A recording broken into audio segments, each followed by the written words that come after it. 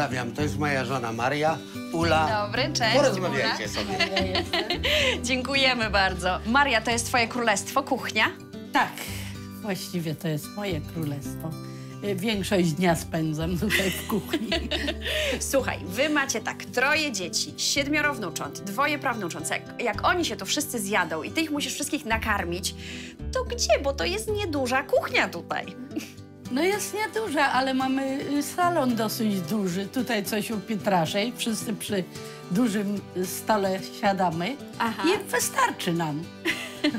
Ale garnek jest, widzę, taki powiedziałam rozmiar e, stołówkowy. Tak, tak. Tutaj też mogę być- zajrzeć? Oczywiście. Co tu się gotuje? To rosół. Rosół. Rosół Tak. gotowałam.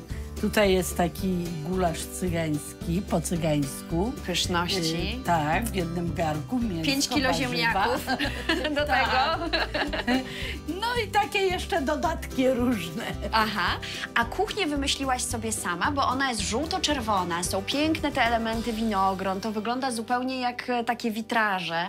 E, czyj to był pomysł? Razem się skonsultowaliśmy z Wasylem, Aha. ale mi się właśnie podobał żółty kolor. No, taki wesoły, nie? No bo przeważnie są jakieś bordowe, czerwone, akurat z tego stylu, a mi właśnie ten żółty jakoś przypadł do gustu. Maria, a ty podróżujesz z mężem? Jak on jeździ na koncerty, to jesteście razem, czy czekasz na niego w domu? Czekam.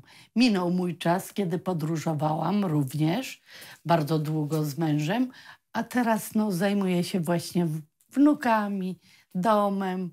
No i teraz sam mąż wędruje jak gdyby, tyle że samochodem po świecie, a ja czekam na niego z obiadkiem. Maria, to gdybym chciała tak ugościć chłopaków, żeby się najedli, jaki przepis byś mi poradziła? Przede wszystkim muszą być duże garki, jeżeli jest dużo ludzi. A przepis, no to taki przepis może taki po naszemu gulasz. Jest mięsko, jest bardzo dużo warzyw, jest y, do tego jakaś zupka, ziemniaki. Także troszkę, troszkę wszystkiego, tak jak tutaj. Wszystko po trochę. Może nie będziemy tak na stojąco dyskutować. Zapraszam cię do stołu na ciasto. Z przyjemnością. To ja się tylko na chwilkę oddalę. Proszę bardzo.